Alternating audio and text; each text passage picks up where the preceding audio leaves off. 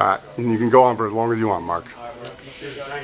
my wife Tressa was doing the Kuzora boot camp, and I'm thinking, oh, you know, bunch of bunch of old ladies in a room, you know, doing this. Like, came with her one time, and I was dead tired after the first time.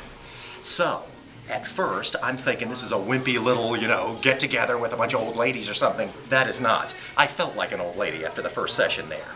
But I can tell you the progress going through. I weighed, uh, before I started doing this, I guess that's roughly a year ago, something like that, I weighed 225 American pounds.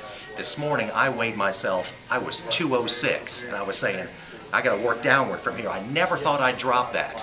When I worked full time up at Channel 5, I used to do the run around the block and do some bench presses in the garage. I thought I was kicking it. I thought I was stuck in the 220s for the rest of my life. You gotta do the stuff like John Kuzora tells you. It's like a car. If a car you're driving long distance, you burn the fuel very slowly. You never burn your fat people. You gotta challenge yourself. You gotta make, you gotta burn. You gotta make some pain. You gotta accelerate and burn stuff. And that's what we do in boot camp class. They don't kill you. They don't beat you to death. They don't kick you in the rear out of there.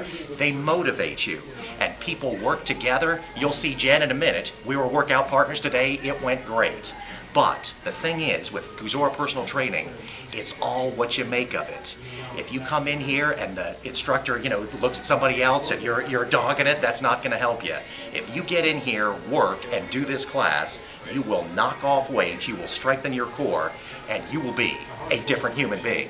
I'm still warped up here, but I'm less warped down here because of Kuzora personal training, ladies and gentlemen. So, come to boot camp class, get off the couch, lose that extra 20. I challenge you. Awesome.